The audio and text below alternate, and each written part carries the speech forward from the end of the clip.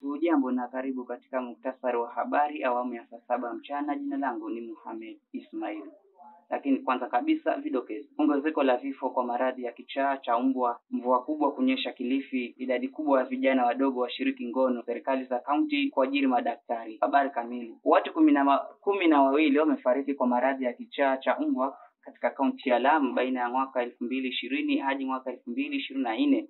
Watu wengine zaidi ya mia moja wame- wameuawa mbwa baina ya Januari hadi Agosti mwaka huu. Na kwingineko ni kwamba idara ya utabiri wa hali ya hewa kaunti ya Kilifi imetabiri kushuhudiwa kwa viwango vya chini vya mvua fupi kwa mwezi wa Oktoba hadi Disemba.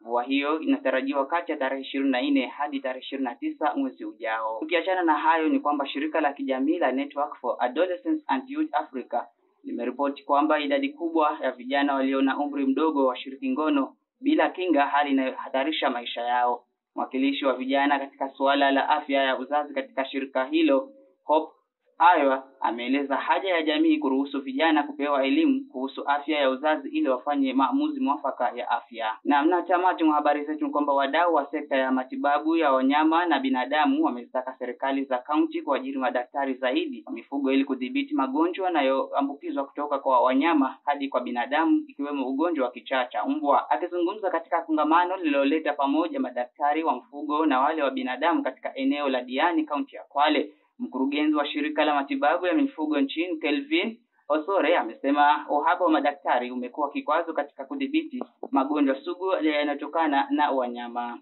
Tamati mwa habari zetu, nimekuwa msomaji wako Muhammad Ismail. Maasala.